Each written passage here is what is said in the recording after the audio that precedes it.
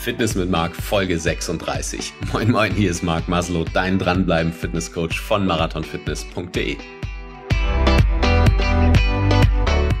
Die heutige Folge ist für alle, die gerne Podcast hören. Du bekommst noch was auf die Ohren. Ich gebe dir elf ungewöhnliche Fitness-Buchempfehlungen mit und warum es sich lohnt, sie zu hören. Bis gleich.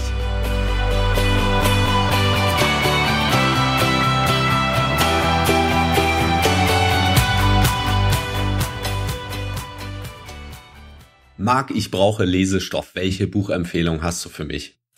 Ich mag solche Fragen, denn Lesen verändert, und zwar schnell. In der heutigen Folge gebe ich dir elf ungewöhnliche Bücher mit, die dir helfen, nackt gut auszusehen. Und ein nicht ganz so geheimen Trick, wie du 52 Bücher pro Jahr lesen kannst, auch wenn du eigentlich gar keine Zeit dazu hast. Ich fange mit dem letzten Punkt an, wie du 52 Bücher pro Jahr lesen kannst. Letztes Jahr habe ich das Buch von Arnold Schwarzenegger gelesen, seine Autobiografie, die nennt sich Total Recall. Das ist ein ziemlicher Schinken, 600 Seiten und mehr. Und ob du jetzt Schwarzenegger magst oder nicht, der Mann ist ein echter Dranbleiber. Das Buch ist entsprechend lesenswert, aber ich habe wirklich Ewigkeiten dran gelesen und habe dann festgestellt, okay, ich bin gerade mal ein Viertel durch. Wie soll ich das jemals schaffen? Die Lösung war letztendlich ziemlich easy. Audible. Ich bin seit Jahren Audible-Abonnent und ich habe da gesehen, dass die englische Ausgabe des Buches schon längst in der Bibliothek war. Ich habe mir das Buch also runtergeladen und in fünf Tagen hatte ich's durch. Cool war, dass Ani die ersten Kapitel selbst vorliest und das war Weltklasse. Ich sag nur, I'll be back. Ich weiß, dass du viel um die Ohren hast. Mir geht's ähnlich. Vielleicht hörst du nicht jede Folge meines Podcasts und pickst dir die Episoden raus, die dich interessieren. Vielleicht hörst du auch einige Podcasts auf zweifacher Geschwindigkeit. Ich kenne das Thema. Ich kenne auch das Thema, dass du in deinem Regal Bücher hast, die dort schon seit über einem halben Jahr stehen und drauf warten, gelesen zu werden. Das ging mir ganz lange Zeit so. Und dann habe ich Hörbücher entdeckt. Seitdem ich Hörbücher höre, hat sich das Thema für mich deutlich geändert und ich lese jetzt in Anführungszeichen viel mehr als früher wenn ich unterwegs bin, wenn ich Wäsche wasche, wenn ich Sportsachen wasche, aufhänge, wenn ich putze, wenn ich bügel, wenn ich einkaufen gehe. Also wenn ich all diese Dinge mache, die mir eigentlich nicht so viel Spaß bringen, höre ich Hörbücher und bilde mich weiter. Und vielleicht gehörst du auch zu denen, die schon erfahren haben, wie viel zusätzliche Freizeit du plötzlich hast, die du mit großartigen Hörbüchern füllen kannst. Deswegen gebe ich dir in der heutigen Folge und ich weiß, als Podcast-Hörer ist das auch ein Thema für dich, gebe ich dir elf ungewöhnliche Audiobücher mit, die dir helfen, nackt gut auszusehen. Ich fange an mit einem absoluten Bestseller der letzten Zeit. Du hast bestimmt davon gehört. Das Buch Darm mit Charme von Julia Enders. Der gesunde Darm ist die Wurzel aller Gesundheit. Das hat damals der gute alte Hippokrates gesagt und das ist auch das Thema von dem Buch. Julia Enders ist Medizinstudentin und hat 2012 ein Poetry bzw. ein Science Slam Vortrag gehalten mit dem Titel Damit Charme bei insgesamt drei Slams und hat dort jeweils den ersten Preis abgesahnt. Dazu gibt's ein ziemlich sehenswertes YouTube-Video, findest du in den Shownotes den Link. Und dieses YouTube-Video kennst du vielleicht auch schon, weil es sich wie ein Lauffeuer im Internet verbreitet hat. Dann ist eine Literaturagentin auf sie aufmerksam geworden und hat sie gefragt, sag mal, willst du da nicht ein Buch drüber schreiben? Hat sie gesagt, ja, mache ich. Und dieses Buch wurde sofort ein Bestseller. Und das ist gut so, denn das Verdauungsorgan, der Darm ist nicht nur in der Öffentlichkeit ein Tabuthema, sondern offensichtlich auch in der Forschung ziemlich lange vernachlässigt worden. Ich weiß, das Thema ist nicht sonderlich sexy, aber das Buch ist sexy. Denn die Fakten sind gut recherchiert, sie sind unterhaltsam, sie sind witzig aufbereitet. Und du findest Antworten auf so spannende Fragen wie, warum sorgen bestimmte Darmbakterien dafür, dass Menschen auch dann dick werden, wenn sie eigentlich zu wenig essen? Warum können Fertiggerichte auf die Stimmung drücken?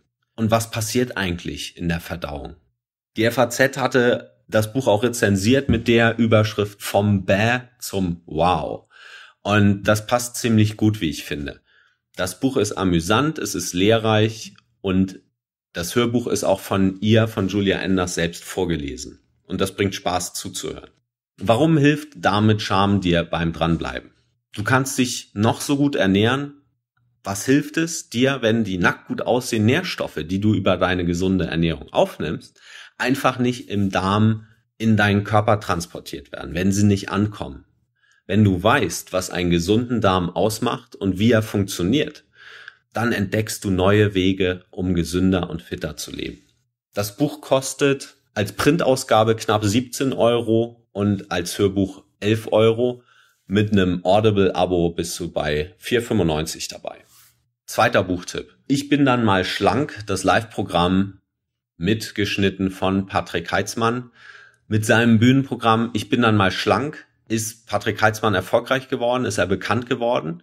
Das ist so eine Kombo aus Kabarett und Ernährungscoaching. Die Vorstellungen sind inzwischen ausverkauft. Das Motto von Patrick ist, Diäten sind nicht lustig, aber man kann wunderbar darüber lachen. In seiner Show zieht er die gängigen Fitness- und Ernährungsmythen durch den Kakao und vermittelt leicht verdauliche Lösungen für einen gesunden Lifestyle. Was ich gut finde, ist, dass er das Ganze macht, ohne den Zeigefinger zu erheben. Es ist im Prinzip so eine Art Buffet, von dem du dich bedienen kannst. Das Hörbuch ist ein Mitschnitt von seinem Live-Programm, dauert wie das Programm dann auch 90 Minuten. Warum hilft das Hörbuch dir beim Dranbleiben? Es ist doch so, je entspannter du deine Ernährung veränderst, desto erfolgreicher wirst du sein. Und Lachen ist eine gute Möglichkeit, um entspannt zu bleiben. Wenn du das Ganze noch passt mit neuen Ideen und Anregungen, die du beim Hören mitnimmst, dann fällt dir die Veränderung deines Körpers noch leichter. Ich bin dann mal schlank, kostet 9,95 auf CD oder bei Audible ab 4,95. Die dritte Buchempfehlung geht auch in die Richtung Ernährung. Das Buch nennt sich Die Weizenwampe von Dr. William Davis. Dr. Davis ist praktizierender Kardiologe und Autor des Bestsellers Wheat Belly, also ein US-Amerikaner. Das Buch war in den USA totaler Bestseller, ist inzwischen auch in Deutschland zum Bestseller avanciert. Vielleicht auch, weil er eine ziemlich radikale Ansicht vertritt. Dr. Davis sagt nämlich, dass moderner Industrieweizen, und damit schließt er auch bewusst Vollkornweizen mit ein, einen negativen Effekt auf unseren Organismus hat. Sein Buch basiert auch zum Großteil auf seinen Praxiserfahrungen, denn er hat sich selbst und Tausenden seiner Patienten in den letzten zehn Jahren eine weizenfreie Diät verordnet und hat gesehen, dass viele dieser Menschen 10, 20 oder sogar 50 Kilo abgenommen haben. Auch Krankheiten, die chronisch sind, wie zum Beispiel Diabetes Typ 2 oder Colitis ulcerosa, haben diese Patienten überwinden können. Davis sieht viele Indizien, dass der durch moderne Zuchtverfahren und in Teilen auch Gentechnik veränderte Weizen dazu führt, dass bestimmte Erkrankungen einfach häufiger auftreten, wie zum Beispiel Akne, wie Schuppenflechte, Depression, Migräne oder Arthritis. Seine Theorie ist, dass dieser Weizen durch die enthaltene Aminosäure Gliadin den Appetit stimuliert und dafür sorgt, dass Menschen mehr Kalorien aufnehmen, als sie benötigen. Das Buch ist grundsätzlich sehr hörenswert und spannend erzählt. Davis liefert viele Studien, und viele seiner Thesen sind bisher noch nicht eindeutig bewiesen. Die Wissenschaftler streiten sich da noch. Deswegen halte ich Alarmismus hier auch für nicht angebracht.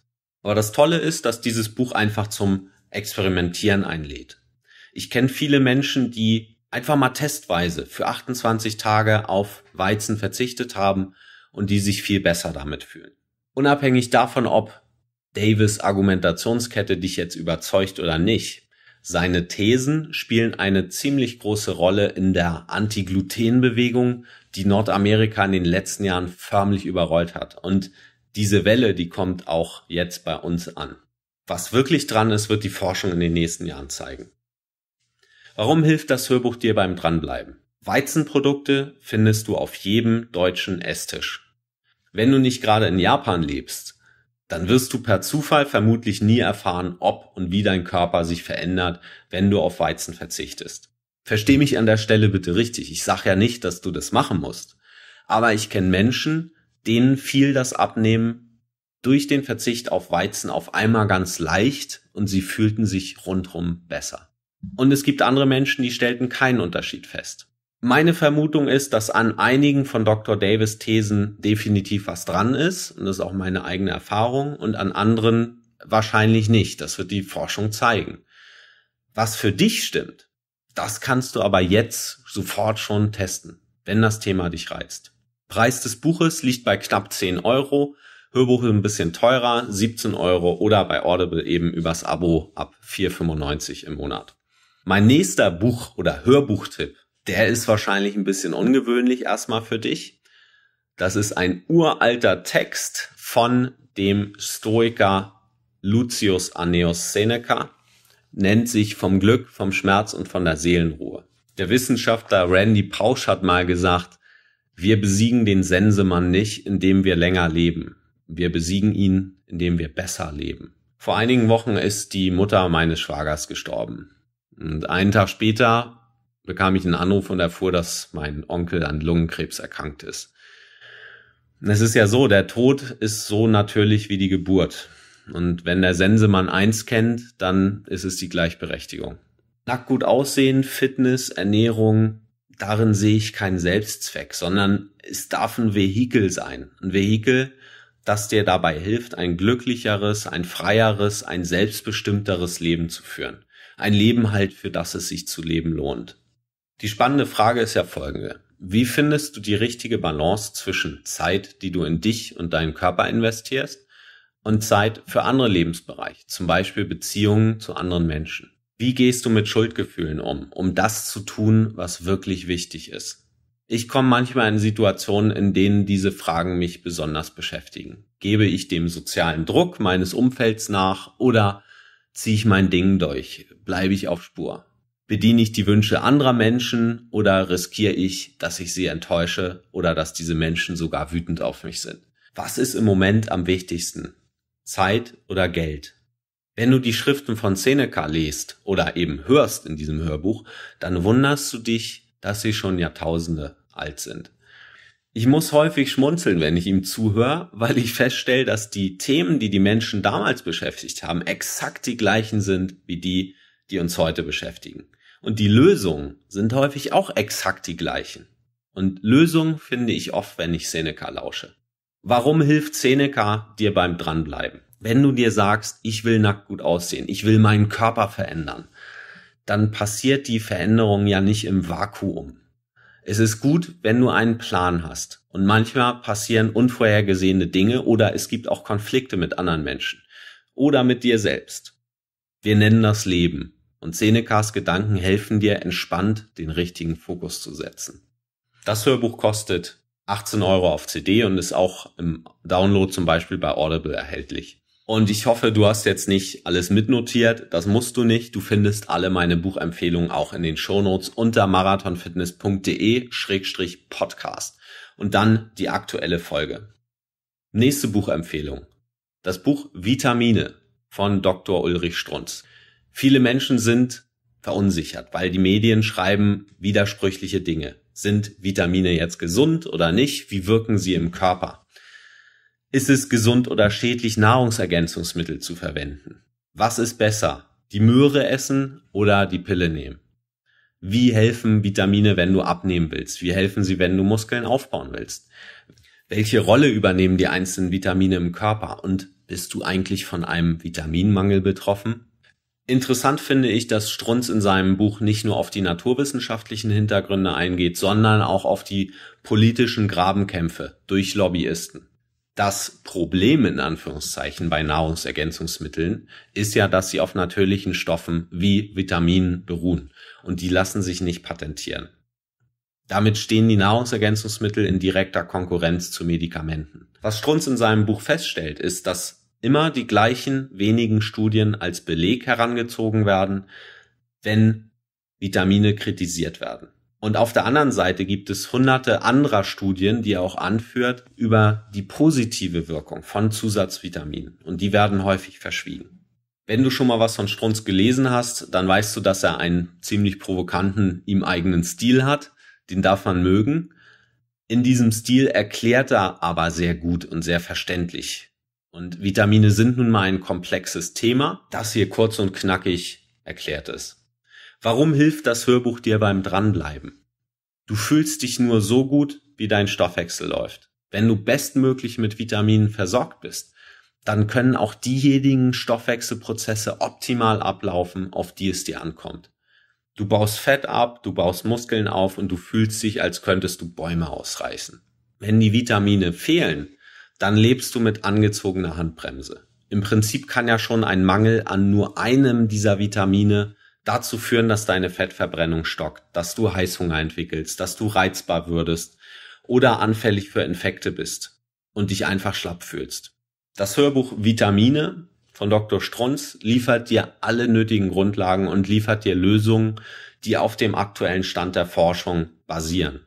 Das Buch ist brandneu und auch sehr aktuell mit Studien unterfüttert. Der reguläre Preis fürs Buch und Hörbuch liegen ungefähr bei 17, 18 Euro. Meine nächste Empfehlung ist so eine Art unkonventioneller Guide für deinen Körper. Der Vier-Stunden-Körper heißt das Buch von Tim Ferriss. Auch ein Bestseller, ist seit einigen Jahren auf dem Markt. Der Leitsatz der ganzen Bücher von Tim Ferriss, die alle lesenswert sind, ist die Frage, wie kannst du mit Minimalaufwand möglichst viel erreichen? Zum Beispiel hat Tim Ferriss in seinem Buch einen wirklich interessanten Ansatz, wie du mit maximal 30 Minuten Trainingsaufwand pro Woche Muskeln aufbauen kannst. Dann stellt er ein Ernährungsmodell vor, mit dem du ziemlich gut Fett abbauen kannst und trotzdem Unmengen essen. Ein 30-Minuten-Orgasmus für die Herren, die die Frauen beglücken wollen. Und auch interessant ein Schlafmodell. Wie kannst du mit nur zwei Stunden Schlaf pro Tag auskommen und dich trotzdem fit fühlen? Du findest wirklich interessante Ansätze in dem Buch zu den Bereichen Muskelaufbau, Ausdauersport, Ernährung, Sex und die beantwortet Tim auf die ihm eigene unkonventionelle Weise. Ich habe das Buch vor vielen Jahren geradezu verschlungen und einige der Ansätze auch selbst getestet.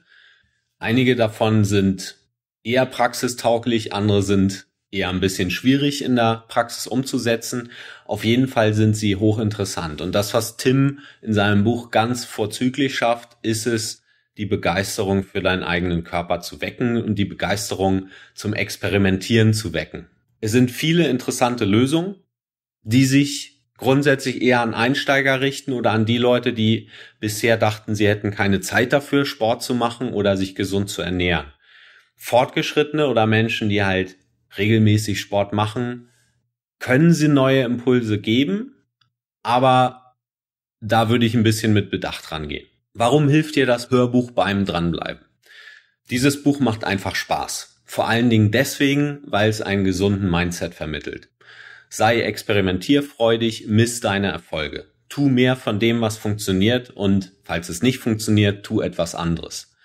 Der Vier-Stunden-Körper ist gespickt mit unkonventionellen Ideen, die zwar nicht das Rad neu erfinden, die aber vielen Menschen nicht bekannt sind.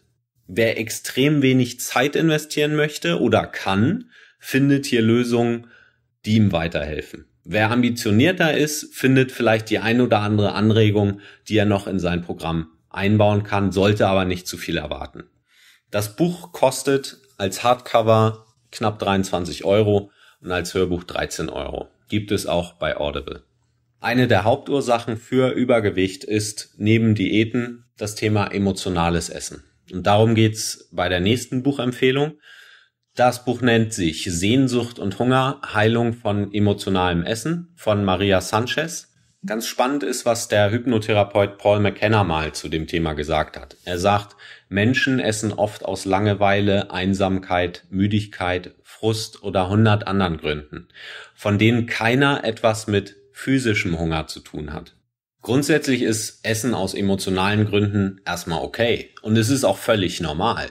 Stell dir vor, du hast Geburtstag, lädst zum Kuchenessen ein und denkst in dem Moment gerade, hey, eigentlich habe ich gar keinen Hunger, aber du isst trotzdem dieses Stück Kuchen und genießt es auch.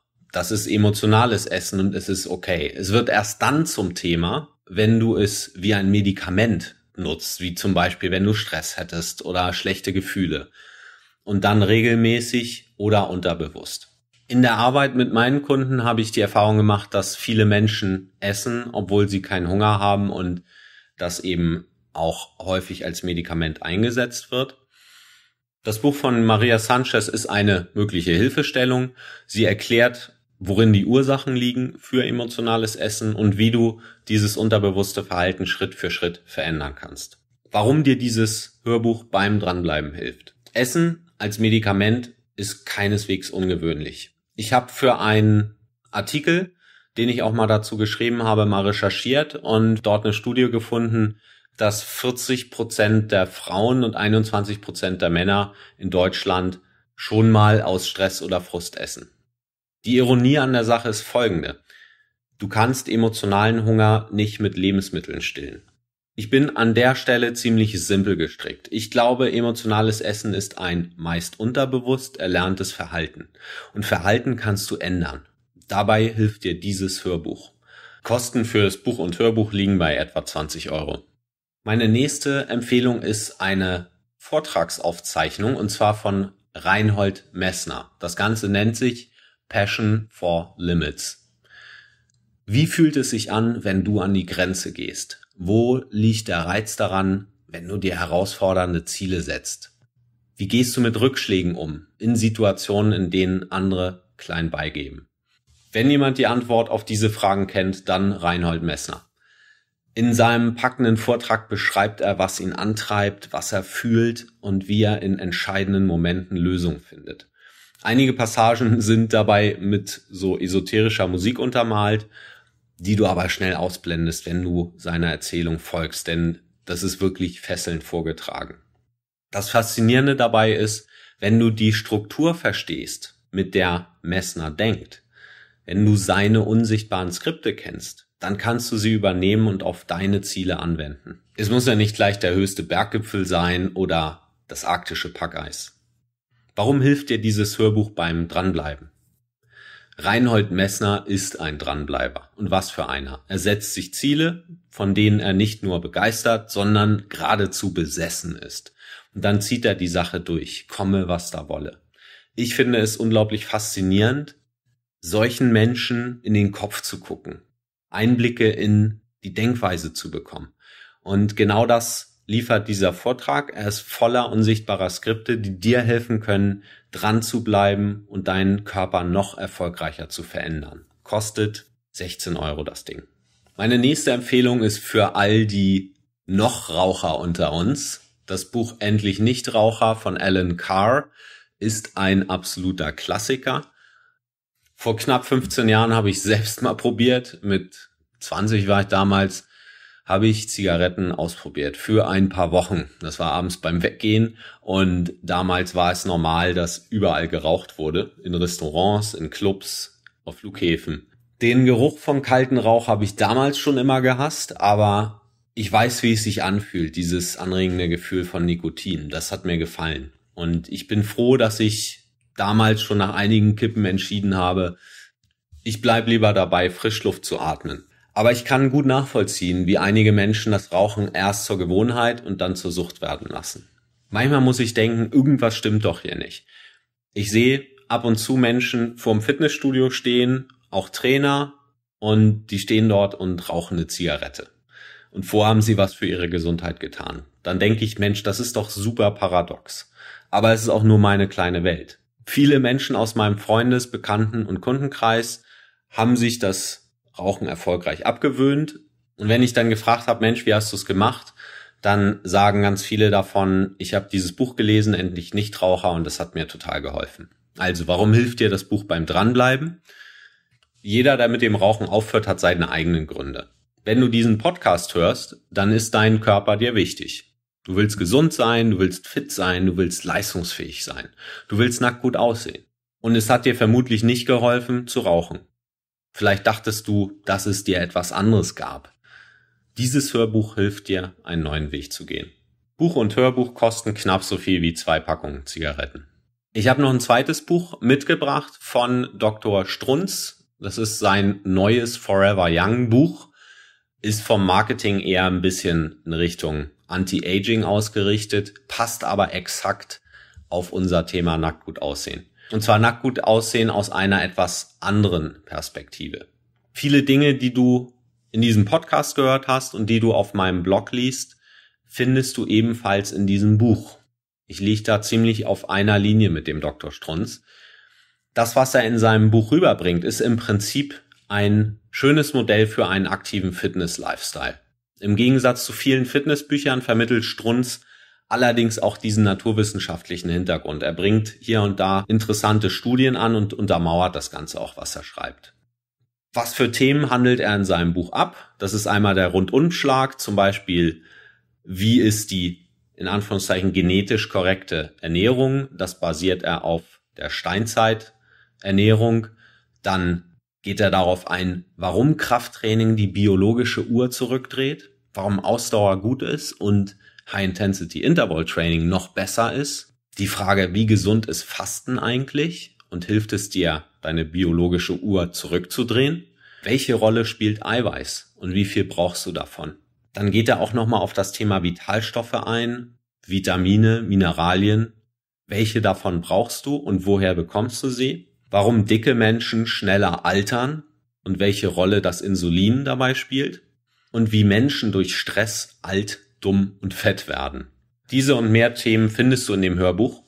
Dann auch noch ein Trainingsprogramm, das sich eher an Einsteiger richtet, aber auch gut mit einem ausgefüllten Alltag und Joballtag zu vereinbaren ist. Ein Tipp noch, eine Anmerkung, wenn du das Buch nur wegen der Rezepte im allerletzten Kapitel hören würdest, dann solltest du dir lieber die gedruckte Fassung zulegen, denn im Hörbuch sind diese ganzen Rezepte vorgelesen. Aber wenn du dann wirklich am Herd stehst, dann ist die Schriftform bestimmt praktischer. Warum hilft dir dieses Hörbuch beim Dranbleiben? Wenn du nackt gut aussehen willst, dann vermittelt dir Forever Young ein praktisches Standardmodell für einen gesunden Lifestyle, das auf wissenschaftlichen Fakten fußt. Das Ernährungsmodell geht so in Richtung Paleo-Prinzip. Strunz zeigt dir, warum Kraft- und Cardiotraining wichtig ist und wie du den natürlichen Alterungsprozess deines Körpers bremsen oder die biologische Uhr gar zurückdrehen kannst. Ein Schwerpunkt liegt dabei auf der Versorgung mit lebenswichtigen Mikronährstoffen. Das Buch kostet 20 Euro, ist gerade rausgekommen, Hörbuch knapp darunter. Wir sind fast am Ende der heutigen Folge. Einen einzigen habe ich noch und das ist mein absoluter Favorit. Das Buch nennt sich das Graveyard Book von Neil Gaiman Neil Gaiman ist ein US-Autor und wenn es eine fesselnde Schreibe gibt, die du mit einer Droge gleichsetzt, dann wäre Neil Gaimans Stil vielleicht das beste Kokain, das du bekommen kannst. Das Hörbuch hat nichts mit Fitness zu tun. Es ist einfach eine wunderschöne Kindergeschichte, die dir hilft, entspannt dran zu bleiben. Nämlich dann, wenn du Dinge tust, zu denen du dich sonst vielleicht erst hättest aufraffen müssen. Wenn es jemals für dich ein Angang war, Sportsachen zu waschen, Lebensmittel einzukaufen, gesund zu kochen oder 10.000 Schritte am Tag zu gehen, mit diesem Buch auf dem Ohr wird das alles zum Erlebnis. Ich persönlich bin ein Riesenfan des englischen Originals, weil das wird von Neil Gaiman selbst vorgelesen und der hat einfach eine hinreißende Erzählstimme. Der deutsche Vorleser ist aber auch gut.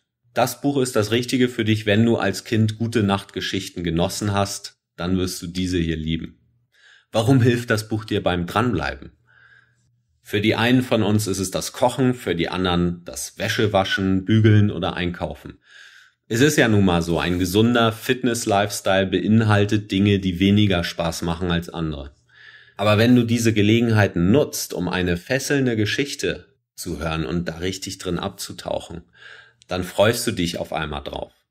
Das Graveyard Book ist eine meiner persönlichen Lieblingsgeschichten und ich bin sicher, sie wird dir auch gefallen. Das Buch kostet knapp 15 Euro. So, und ganz zum Schluss möchte ich dir noch eine Empfehlung mitgeben. Wenn du regelmäßig Hörbücher hörst, dann kannst du ordentlich Geld sparen. Und zwar bekommst du ein Hörbuch pro Monat für 4,95 Euro. Und zwar auch alle, die hier heute in der Folge vorgestellten. Es ist ja so, normalerweise bezahlst du für ein Hörbuch im Handel auf CD meist zwischen 10 und 50 Euro.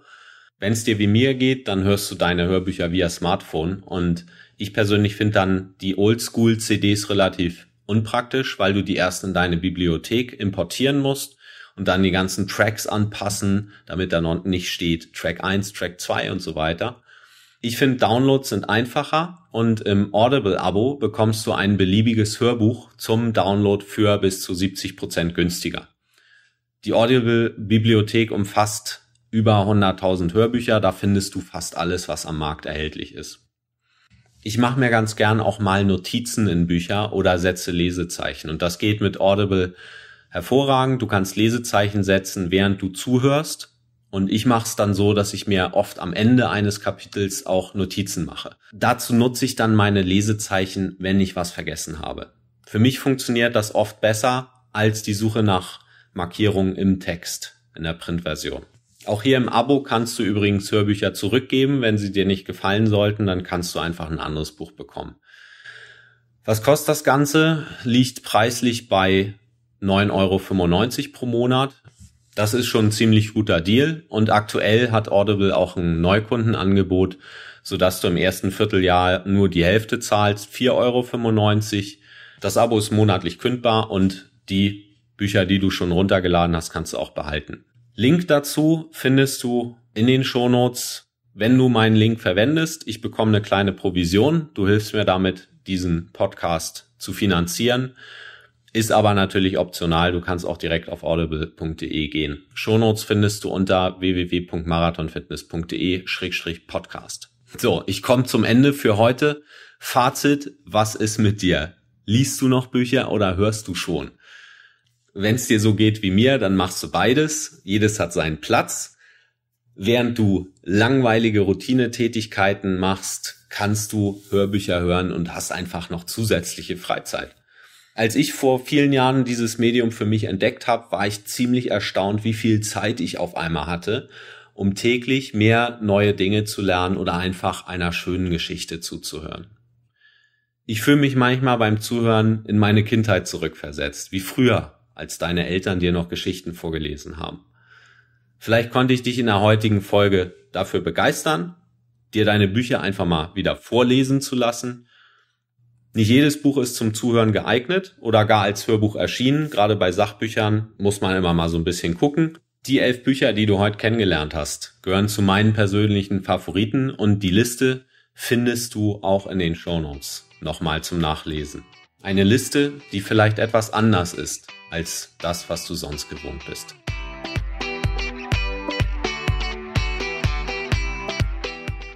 Cool, dass du bis jetzt dran geblieben bist. Falls du Feedback hast zu dieser Show oder Vorschläge für Interviewpartner, die ich in einer der nächsten Folgen interviewen sollte, schick mir eine Mail an podcast@marathonfitness.de. Die Shownotes und weitere Infos findest du unter marathonfitness.de-podcast. Und da findest du auch Links, wie du mich über Twitter, über Facebook oder über andere Wege erreichen kannst. Falls du diese Folge hörst und noch nicht abonniert hast über iTunes oder über Stitcher oder andere Plattformen, dann solltest du das schleunigst ändern. Die beste Möglichkeit dran zu bleiben ist, wenn du dir diesen Podcast kostenlos auf dein Phone oder auf deinen Computer liefern lässt. Du kannst ganz einfach abonnieren, indem du auf iTunes gehst und dort nach Fitness mit Mark suchst oder du gehst auf www.marathonfitness.de-podcast und klickst auf Abonnieren. Wenn dieser Podcast dir gefällt, dann kannst du auch was zurückgeben. Geh auf iTunes, gib mir deine 5-Sterne-Bewertung und schreib was Nettes. Ich lese das und ich werde dir ewig dankbar sein, versprochen. Der Punkt ist der, mit deiner Bewertung hilfst du, dass dieser Podcast leichter gefunden wird von Menschen, denen diese Infos auch helfen könnten, um ihren Körper zu verbessern, um nackt gut auszusehen. Denn das beste Kompliment, das du mir machen kannst, ist eine Empfehlung an jemand anderen.